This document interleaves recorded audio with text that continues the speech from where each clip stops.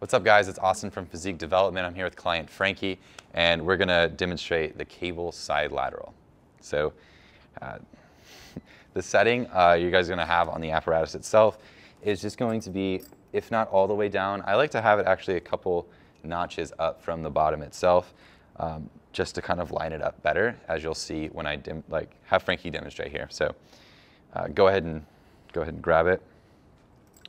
So it's very, very similar to the dumbbell lateral.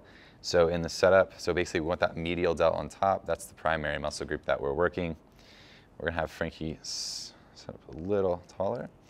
So as we're here, now all Frankie, so the setup's good.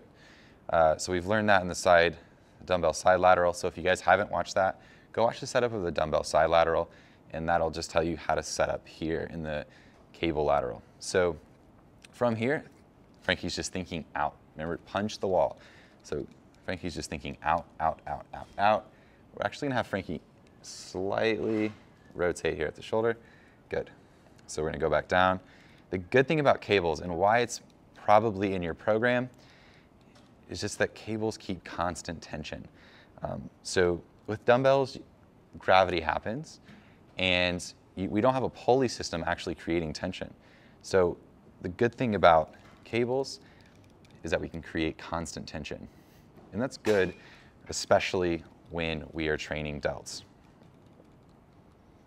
Good, so we're thinking out towards the wall, out, out, out, basically bringing here to here, bringing those points together, really shortening that muscle, creating a good solid contraction. Have Frankie do one more rep for us. He's thinking punching that wall, punch, punch, punch. Good, good solid contraction here keeping really stable in his core as well.